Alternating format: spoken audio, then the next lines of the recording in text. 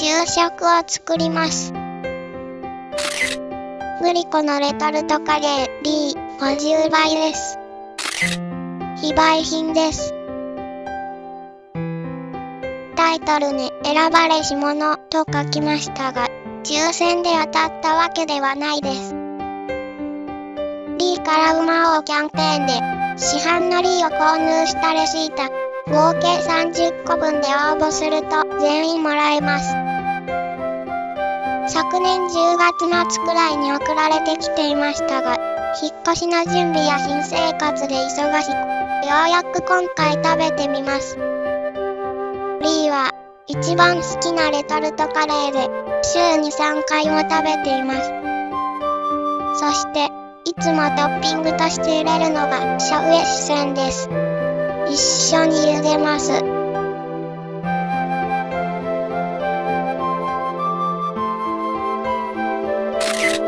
そして、コーンとゆで卵もトッピングします。なお、揚げ物は普段トッピングしませんが、昨日動画の彩りのためにサラダを購入しようとスーパーに行くと、惣菜コーナーに粉コロッケが7割引きで1個だけ残っていたので購入しました。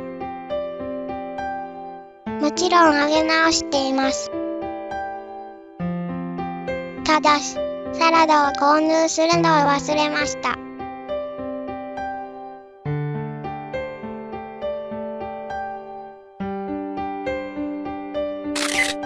トッピングしました。福神漬けとらっきょうは常備しています。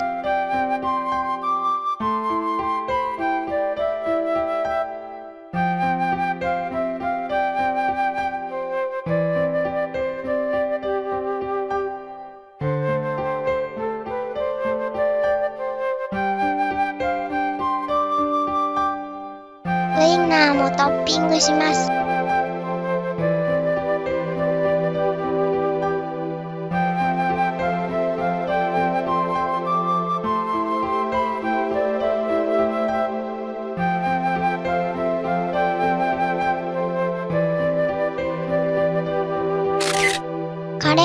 けて完成です。早速食べていきたいのですが、少し躊躇しています。というのも、今でこそ普通に販売されている D の30倍ですが、数年前までは期間限定の販売でした。それを初めて食べた時、あまりの辛さでなかなか食べれなく、かなり時間をかけての完食でした。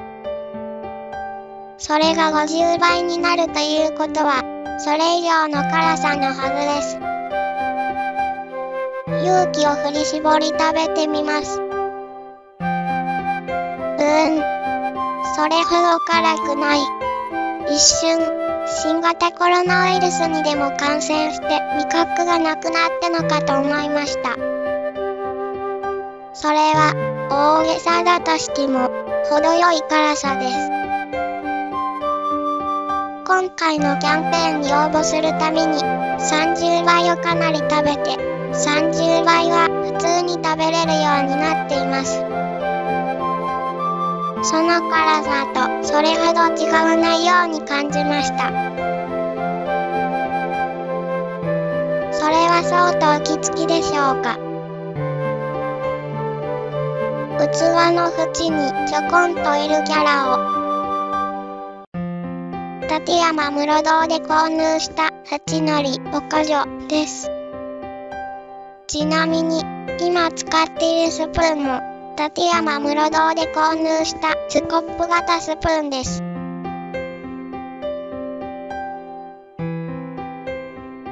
想像したよりは辛くありませんでしたが、頭皮からは少し汗が出ているのは感じました。個人的には、食事として美味しく食べるとすれば、20倍が一番好きですね。カレーを食べるときは、氷を入れた水を用意します。富山に住んでいるときは、普通に水道水を飲んでいました。でも、茨城の水道水は、なんか味がするのですよね。粉薬を大量の水で飲んだ後のかすかな後味の悪さに似ています。なので、近くのスーパーで無料提供されている純水を飲むようにしています。19歳の時に住んでいた東京では、普通に水道水飲んでいたのですけどね。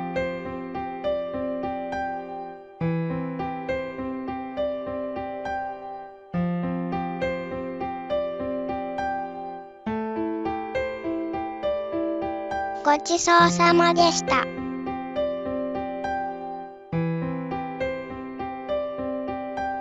次は100倍カレーが出るのかな